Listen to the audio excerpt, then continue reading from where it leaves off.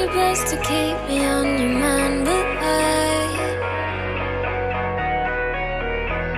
know all the things you meant when you said that we're fine. I knew you'd run to me like someday.